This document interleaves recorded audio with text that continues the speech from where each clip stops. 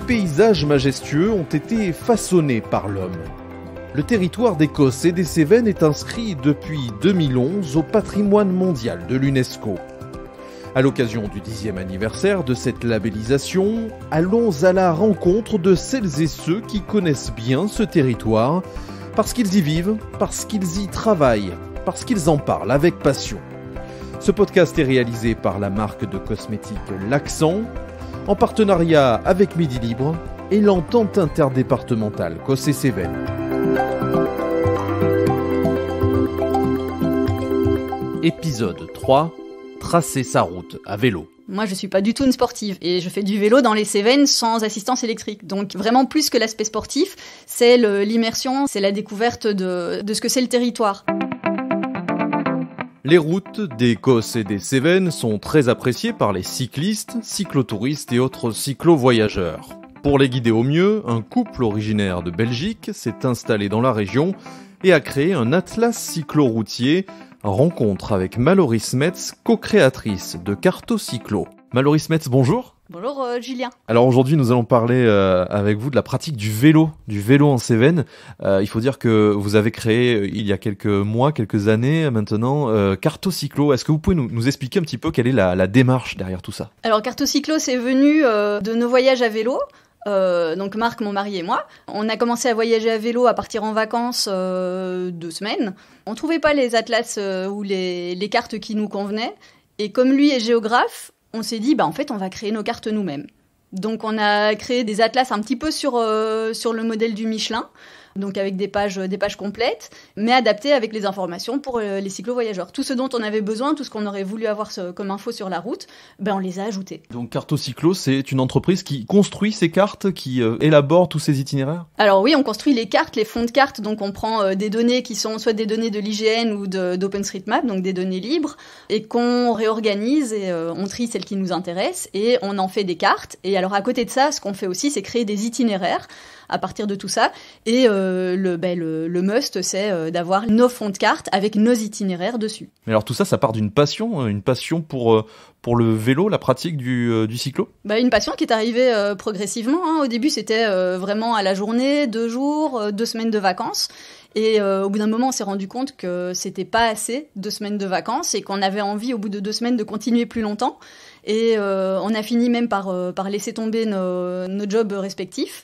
Euh, pour avoir plus de temps, pour pouvoir découvrir euh, les routes à vélo, découvrir euh, bah, principalement la France à vélo, et ne pas être coincé sur, les, sur le, timing de deux semaines de vacances. Alors pourquoi je viens vous voir aujourd'hui, c'est que vous êtes basé à Florac, en plein cœur du parc national des Cévennes, de, ce territoire d'Écosse et Cévennes.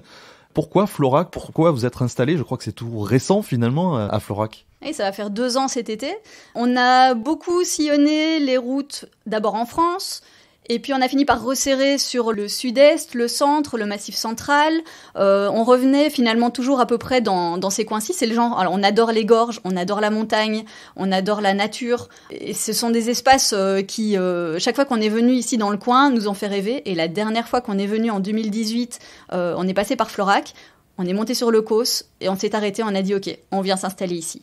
Et en plus, cette activité là, cette création d'activité autour du, euh, du euh, alors cyclotourisme, c'est pas forcément le, terme le plus adapté, euh, de la cyclo-itinérance, on va dire plus précisément, euh, c'est quelque chose qui n'existait pas, une proposition qui n'existait pas localement. Il n'y avait pas de personnes capables de guider, on va dire, des cyclo-voyageurs sur ces sur ces portions de route. Alors dans les Cévennes, il y a deux possibilités. Le, le vélo, c'est soit du vélo de route, donc Fédération française de cyclotourisme, typiquement le dimanche en groupe ou pas forcément en groupe, en individuel, mais euh, aller sur, euh, sur les, les, grosses routes et euh, faire beaucoup de kilomètres, ou c'est du VTT.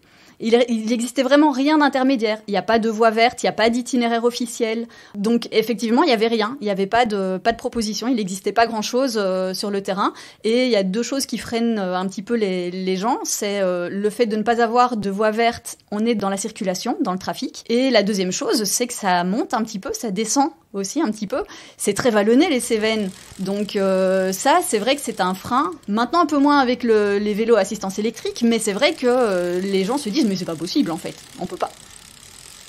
Pour moi, c'est un, super terrain de jeu. Alors, c'est pas forcément familial, hein, parce que euh, fatalement, dans, le, dans, la circulation avec les enfants, surtout en, pleine, en plein été, c'est pas forcément familial. Mais pour n'importe qui d'autre, si on prend le temps, En fait, il faut vraiment, ça c'est le postulat de départ, il faut prendre le temps et, se laisser la peine de découvrir euh, le territoire. S'il faut monter sur un cos, euh, la différence euh, de, de ressenti qu'on a dès qu'on arrive sur le cos, c'est un autre monde en fait. Quand on fait ça en voiture, on le sent un petit peu visuellement. Quand on le fait à vélo, on le sent physiquement. On sent vraiment cette différence. Plus que l'aspect sportif, ou autant que l'aspect sportif, c'est plus le, côté euh, expérience, euh, mode de vie, prendre le temps, vous me disiez. Hein. c'est ça, prendre le temps de, de contempler, de vivre le moment. Oui, plus que l'aspect sportif. Moi, je suis pas du tout une sportive et je fais du vélo dans les Cévennes sans assistance électrique. Donc, euh, vraiment plus que l'aspect sportif, c'est l'immersion, c'est euh, c'est la découverte de, de ce que c'est le territoire. C'est vraiment vivre le territoire, c'est le traverser, mais mais en, en, le traversant, on le transforme et lui nous transforme. On peut imaginer qu'en en, ayant créé des cartes autour de ce territoire, je crois qu'il y, a justement un exemplaire hein, que, que vous avez développé autour de ce territoire, de, de, de cartographier euh, euh, toutes ces routes. Euh, c'est un travail immense. Qu'est-ce que ça représente en, quelques chiffres? Je crois qu'il y a des chiffres qui sont assez, assez parlants sur toutes ces routes que vous avez pu sillonner. Alors, on a le Cri des Cévennes, donc notre, notre atlas guide sur le territoire du Parc national des Cévennes et de, l'entente UNESCO. Donc, on a fait un petit peu un mash-up entre ces deux, ces deux territoires-là. On a réussi à faire 141 tronçons en bitume et gravel.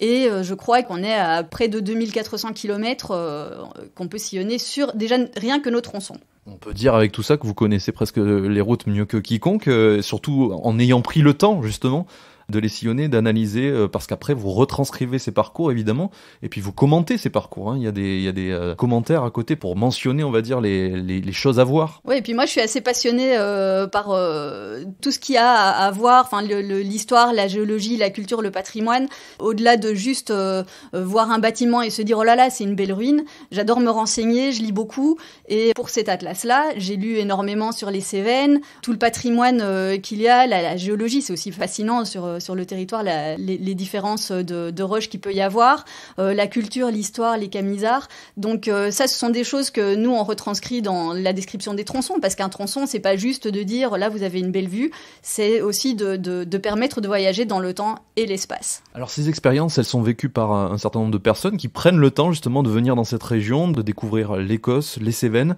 Euh, il y a beaucoup de personnes que vous croisez qui font la démarche, on va dire, de pratiquer et de sillonner ces routes à vélo Étrangement, oui, on croise beaucoup de, de cyclo-voyageurs dans le coin. Et alors, comme on est aussi euh, inscrit sur euh, le, réseau Warm Shower, donc c'est un réseau d'hébergement entre cyclo-voyageurs, on a très souvent, euh, surtout au printemps, à l'été et à l'automne, on a des, des demandes d'hébergement vraiment très régulières. Donc, ce qui nous permet à nous d'aussi pouvoir discuter avec d'autres cyclos qui découvrent parfois les Cévennes. Il y en a beaucoup qui ne connaissaient pas et qui découvrent et qui tombent amoureux comme nous on l'a été.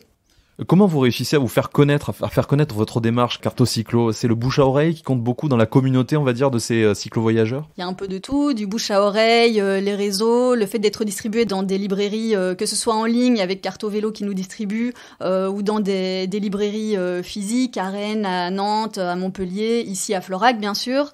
on est aussi distribué par les, offices du tourisme sur le territoire du parc national. Mais c'est vrai que le, bouche à oreille, on compte pas mal dessus. On se dit que comme ça reste une, niche, hein, les cartes papier, ça peut fonctionner comme ça. Euh, prochain épisode de ce podcast, on parlera de l'oignon doux des Cévennes. Qu'est-ce que ça vous inspire, Mallory Smets? Alors moi, l'oignon doux euh, des Cévennes, euh, ça peut être une grande passion parce que la nourriture, c'est une grande passion chez moi. Et quand on est à vélo, au bout d'une semaine, deux semaines de pédalage, on a vraiment faim. Et euh, bah là, c'est vrai qu'ici, l'oignon doux, c'est enfin c'est juste l'oignon quoi. Quand euh, quand on est dans les petits villages euh, et qu'on veut acheter de l'oignon, bah c'est c'est l'oignon doux des Cévennes. Mais voilà, pour moi, c'est vraiment le genre de spécialité qu'on peut découvrir quand on quand on traverse un territoire, peut-être sans le savoir et on y goûte et puis on, va dans un autre territoire et on connaît d'autres choses. Et c'est aussi ça un petit peu euh, découvrir, euh, découvrir la France, découvrir un territoire, c'est euh, par sa gastronomie aussi. Merci Mallory Smets. Bah de rien, merci à toi. Et merci à vous d'avoir suivi cet épisode. À très bientôt pour mettre à nouveau l'accent sur l'Écosse et les Cévennes.